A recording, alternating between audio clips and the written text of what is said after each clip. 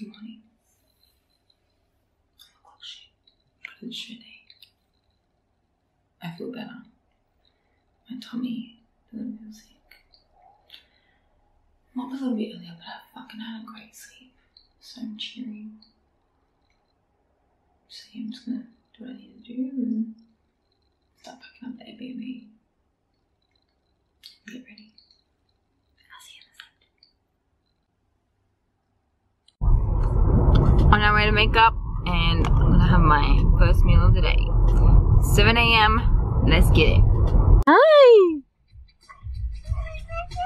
Do you want to pop down? Makeup is done. Oh, that's better.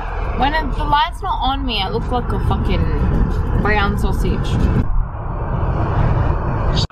These motherfuckers, look who came to Melbourne! So this is Tony, my hairdresser that I have been messaging for the past week. And this is makeup. Um, All glammed up, ready to go. look who's here!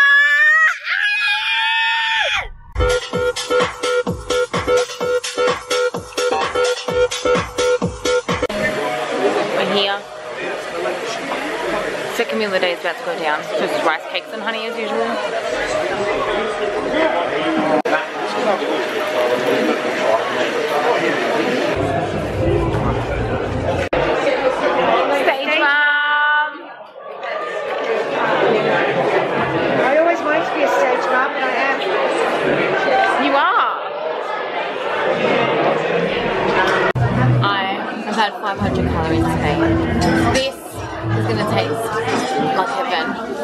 Is 351.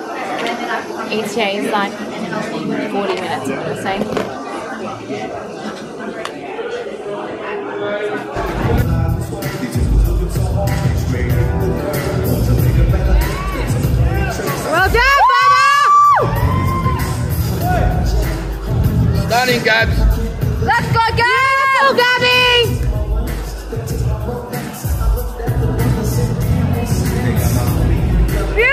With Gavin, well done. Well done, Gabs. And let's raise your arms in the victory salute. And hope to see all three of you next week at the. Love you, Gabs.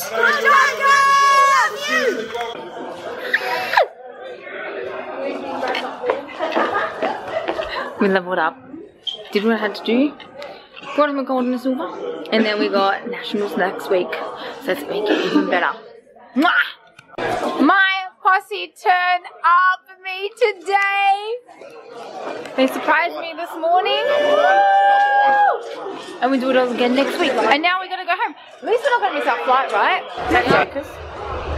We're at the airport. All rushed. So I can have a quick meal before I get on a plane. So We gotta get through. Airport feed after a good win. I haven't had a wrap like this in so long. You got a member? I Yeah, was gonna say, dude. lamb. Mm. Just the sauce alone. Cut. Good evening, everyone. Welcome aboard your Virgin Australia flight to Sydney on VA893. My name's Nash. Have you Back in Sydney.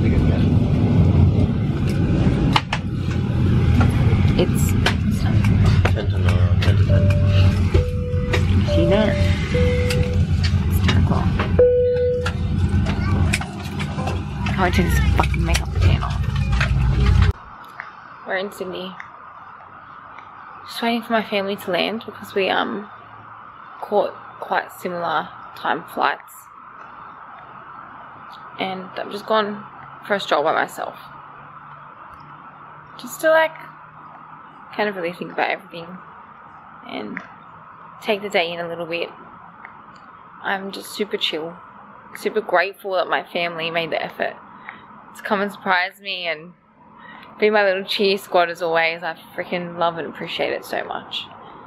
Appreciate my partner for doing it all with me. I appreciate all the support I get all the time. I'm very blessed and lucky. I'm chill. I'm so happy with my results. Obviously, they um obviously they got better than last week, so that's a win. Took out a win, took out a second place. Proud but never satisfied. I always want to be better, grow. So that's what I'm gonna do. Back to the drawing board, back to smashing another week out for nationals and then right back into the off season to improve even more and you know um yeah can't really say too much because I don't know yet but I'm excited for where everything's heading and everything is planned so had a little bit of a feed and then tomorrow we're back in peak week day one again so I've definitely learned a lot from last last week in regards to exhaustion and burning myself out a little bit. Um, so I'm definitely going to take that into consideration and then bring that into this peak week and really double down and see what I can improve on even more. Yeah. It's good. I'm, I'm happy with how this season's going. how it's gone. Um, I love this sport so much. Ah.